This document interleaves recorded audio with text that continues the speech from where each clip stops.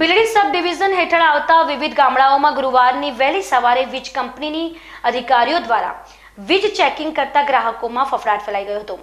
બિલડી સબ ડિવિઝનમાંથી મળતી વિગતો પ્રમાણે વીજ કંપનીના અધિકારીઓ દ્વારા સબ ડિવિઝન હેઠળ આવતા વિવિધ ગામડાઓમાં ઘર વપરાશના કુલ છસો જેટલા વીજ જોડાણોની તપાસ કરતા સાહીઠ વીજ કનેક્શનોમાં વીજ ચોરીનું માલુમ પડતા ગ્રાહકોને રૂપિયા સાડા નવ લાખ રૂપિયાનો દંડ ફટકારી એકસો પાંત્રીસ મુજબ ગુનો નોંધાતા વીજ ચોરી કરતા ગ્રાહકોમાં ફફડાટ ફેલાઈ ગયો છે. આ વર્ષે ખેડૂતોને ચોમાસામાં વધુ વરસાદને લીધે ચોમાસુ પાક નિષ્ફળ જવા પામેલ, ત્યારબાદ તીડથી અમુક નુકસાન થવા પામેલ છે.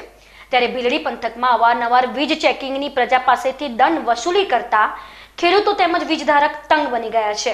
ગામડામાં વસતા સામાન્ય લોકોને વીજ ચોરીના દંડ ફટકારતા પંથકના ખેડૂતો પણ ત્રસ્ત બની ગયા છે અને છાસવારે આવા મસ મોટા દંડ ફટકારીને ખેડૂતોને કમર તોડી નાખેલ છે.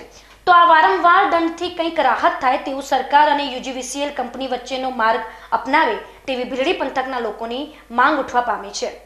ભીલડીથી બીકે ચેનલ માટે વિનોદ ચાવડા.